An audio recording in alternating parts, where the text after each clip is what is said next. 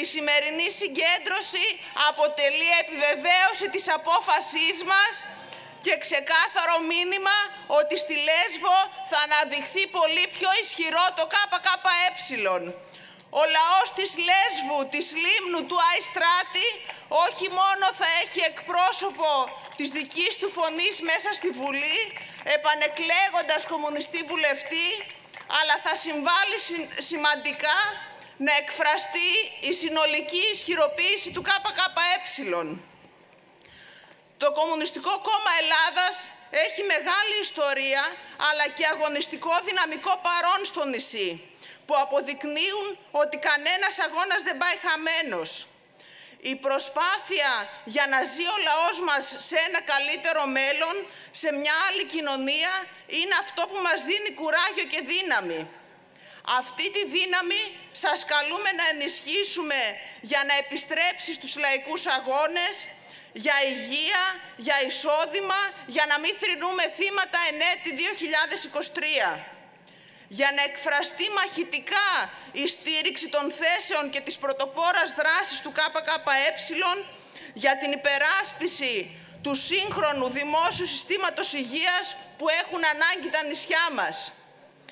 Όπως διεκδικήσαμε με πολλές εκατοντάδες κοινοβουλευτικές ερωτήσεις και παρεμβάσεις, αλλά και πρωτοστατήσαμε στην αγωνιστική διεκδίκησή τους.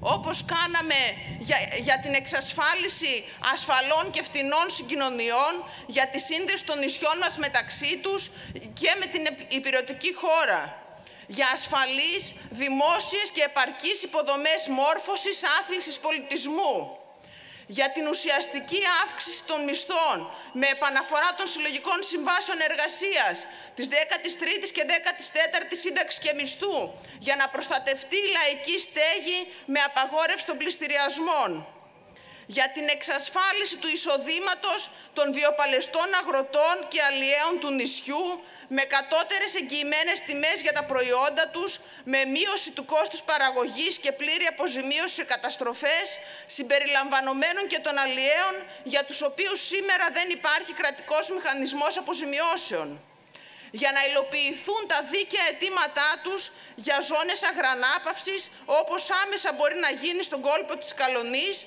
αλλά και να διαμορφωθεί νομοθετικό πλαίσιο για τους βιοπαλαιστές αλληλείς που ασχολούνται με τα όστρακα.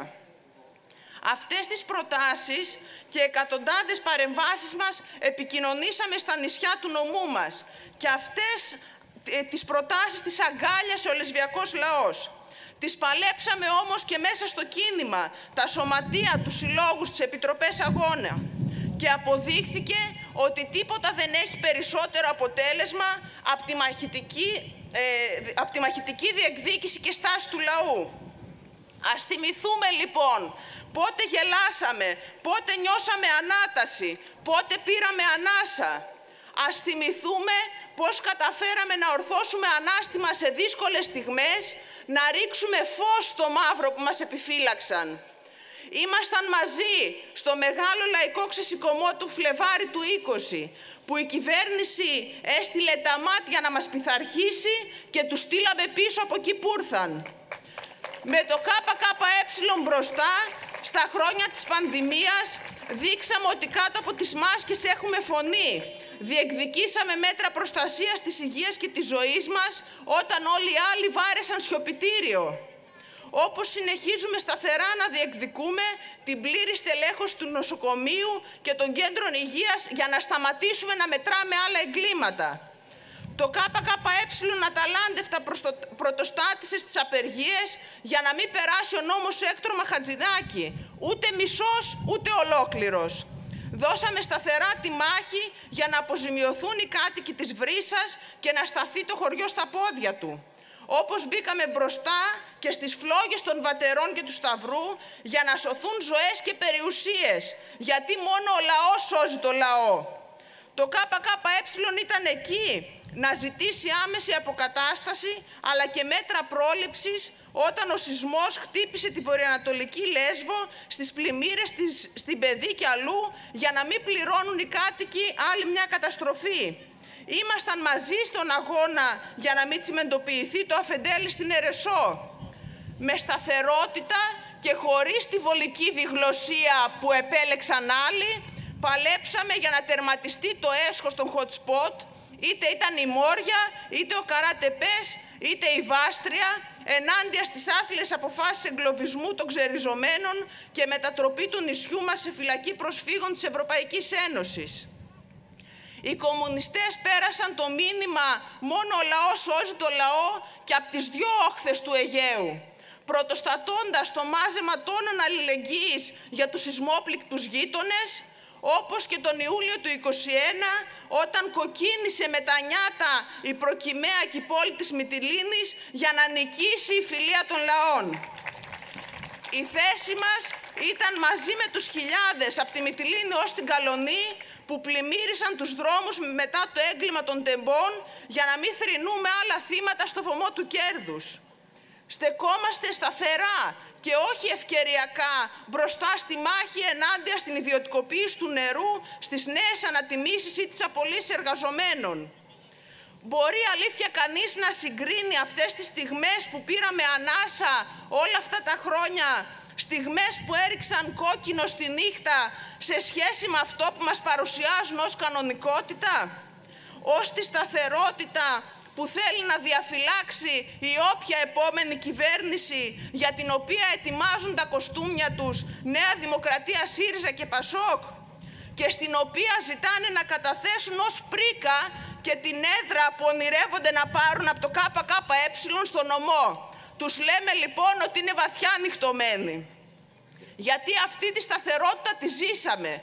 Αυτή που έκτισαν ο ένας πάνω στους νόμους του άλλου, αποδεκατίζοντας πρωτοβάθμιες δομές, κέντρα υγείας, νοσοκομεία, για να θησαυρίζουν ιδιωτικά διαγνωστικά, για να αποτελεί μονόδρομο η αναζήτηση θεραπείας σε Αθήνα και Θεσσαλονίκη, βάζοντας βαθιά το χέρι στην τσέπη αυτή που σημαίνει για αγρότες, αλείς και κτηνοτρόφους να μην αποζημιώνονται για τις καταστροφές, να στοχοποιούνται για τις τιμές των προϊόντων στο ράφι των μεγαλεμπόρων, να μην στηρίζονται για το κόστος παραγωγής, ειδικά σε αγροεφόδια, ζωοτροφές, ρεύμα και πετρέλαιο. Αυτή που οδήγησε στην κατάργηση του μειωμένου συντελεστή ΦΠΑ με το τρίτο μνημόνιο που όλοι μαζί ψήφισαν και υλοποίησε η συγκυβέρνηση ΣΥΡΙΖΑ-ΑΝΕΛ, για να το συνδέσει η σημερινή με απαράδεκτο τρόπο με το προσφυγικό. Είδαμε το κολαστήριο της Μόριας να εγκαινιάζεται από τη συγκυβέρνηση Σαμαρά Βενιζέλου, να γιγαντώνεται επί ΣΥΡΙΖΑ ΑΝΕΛ και τη σημερινή κυβέρνηση να προωθεί το έσχος της Βάστριας, διατηρώντας και τη φυλακή προσφύγων στον Καράτεπέ. Είδαμε να ψηφίζουν όλοι μαζί απλόχερα φοροαπαλλαγές και επιδοτήσεις στους εφοπλιστές, αλλά να σωπαίνουν εκοφαντικά στις προτάσεις του ΚΚΕ για φορολόγητο στα είδη κατανάλωσης, στα καύσιμα και στην ενέργεια για το λαό. Τους βλέπουμε και σήμερα ότι στα μεγάλα, τα σημαντικά, τα ζωτικά βρίσκονται απέναντι από τα δικά μας συμφέροντα. Γι' αυτό λέμε ότι είμαστε όλοι μας και μόνοι τους. Γι' αυτό λέμε ότι η ελπίδα είναι η δική μας ετοιμιγορία, τα δικά μας κριτήρια. Στις 21 Μάη δεν θα ξεχάσουμε ότι μόνο με το νου, τα χέρια, με τον αγώνα μας βγήκαμε κερδισμένοι. Ότι ο δρόμος της υποταγής μας φέρνει πάντα σε χειρότερη θέση. Δεν μας ταιριάζει να μπαίνει η ζωή μας στη ζυγαριά του κόστους και του ωφέλους. Γι' αυτό ο νομός μας, τα νησιά μας θα, θα συνεχίσουν να μένουν ζωντανιά, ζωντανά από τη ζωντάνια του λαού και της νεολαίας. Για αυτή τη ζωντάνια το ΚΚΕ έδωσε και θα ξαναδώσει όλες του τις δυνάμεις για να γίνει ακόμα μεγαλύτερος πρωταγωνιστής ο, ο εργάτης, ο αγρότης, ο νέος, η γυναίκα.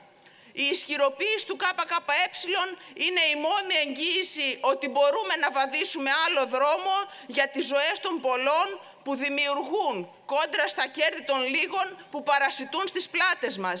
Με την νίκη σύντροφοι και φίλοι, καλή δύναμη σε όλους.